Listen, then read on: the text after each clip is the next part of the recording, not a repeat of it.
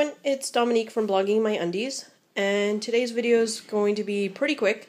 It's the boy's birthday party, so I'm in the process of cutting veggies and fruits and everything. The cupcakes are done from yesterday, and I'm working on nacho dips. So what you need is uh, cream cheese at room temperature, and then you also need an oven safe uh, box or dish or pan. Um, this actually didn't matter for me because there's no oven where I'm going, so I won't be reheating these. But uh, for convenience sake and being able to throw them away, I just got the foil disposable boxes.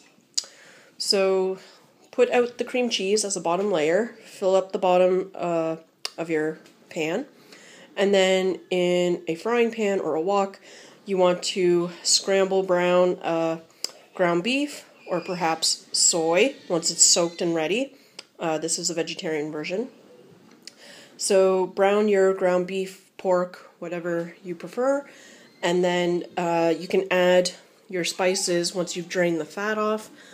And then I added drained and rinsed black and kidney beans, black beans and kidney beans, and same for the vegetarian one. The only difference is the soy and the corn that I added. And I also added um, half a chopped onion to each.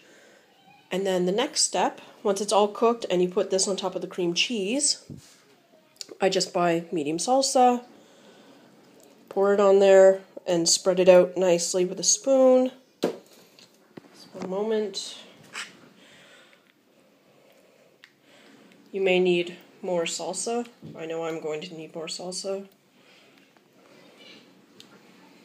So just spread it as best as you can so it's nice and even. And then I'm going to top it with shredded cheese. And I'm going to serve at room temperature. However, if you want to take it up a notch, you could take these to your party that you're going to or potluck and uh, you can toss it in the oven, the dip, once it's ready. Toss it in the oven and uh, keep it in the oven just to melt the cheese. And then you're good to go. And just serve with nacho chips. So I'm using a pizza topping, pizza mix, shredded cheese. But you can use what you like. Some prefer mozzarella or cheddar or whatever you like. And this is kind of my signature dish for parties because nacho dips aren't very common in Finland. So they're usually quite well received. And they feed quite a bit of people. And there's almost always no leftovers. So that's also handy. And another reason why I'm bringing these foil boxes. I'm hoping they'll be nice and empty after the party. Sorry for the mess in my kitchen. Been busy all day. Yeah, and then if you wanted, you could top it with um, some chopped green onions or chives would be lovely as well.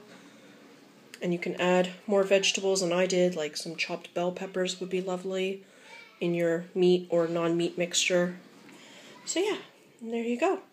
And to separate the two, um, these foil boxes come with lids, so I'll just be scribbling what is vegetarian and what is not.